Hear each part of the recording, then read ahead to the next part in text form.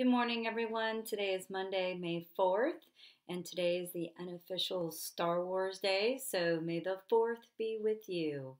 Um, okay, so I want to start out by reminding you about the Social Studies Colony Project. I did notice that there still were a few people that have not signed up for a colony yet. The research is due today. I will be posting the directions for the Google Slide project tomorrow.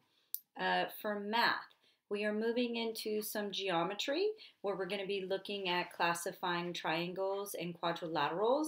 I've created some um, quadrilateral flashcards. So before you do your book widgets worksheet today, I need for you to review the flashcards because a lot of the information that you're going to need for your worksheet are in the flashcards. So you should practice those. Um, it does say like study and practice. So just make sure that you're practicing those. Um, you're not getting a score on that.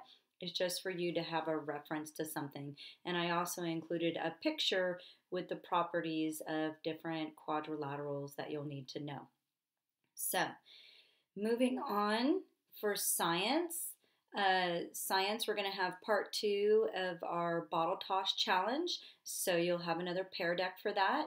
And um, so make sure you're reading all of that and that you're filling out each of the Pear Deck slides um, before you submit it. Uh, also going with science, I thought this would be a perfect question, perfect time for our question of the day, since it is the unofficial Star Wars day. Um, what is your favorite it could be what's your favorite Star Wars movie, what's your favorite Star Wars character, what's your favorite Star Wars quote. I just happen to have a quote that I remember. Of course, there's always like, Luke, I am your father. Or um, there's the one when R2D2, he um, projects the message from Princess Leia. And I just remember growing up, like, I would say this over and over. My sister and I would play Star Wars. And I would say, Help me, Obi Wan Kenobi, you're my only hope. And it, it would just play over and over and over. Um, so that would be mine. Um, moving on, you do have a new writing assignment, and it's uh, heroes versus villains. So today you have a graphic organizer that you need to fill out. So read all of the directions there. Um, and let me know if you need any help with that. And then lastly, we have our Zoom meeting at 2.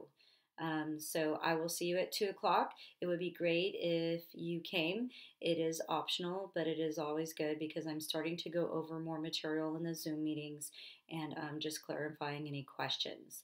So I hope you have a wonderful day and may the 4th be with you. And if you didn't know, uh, Disney Plus is releasing The Rise of the Skywalker early. So that'll be released today. And um, I haven't seen it yet, so I hope to watch that this evening with my family. So I will talk with you soon.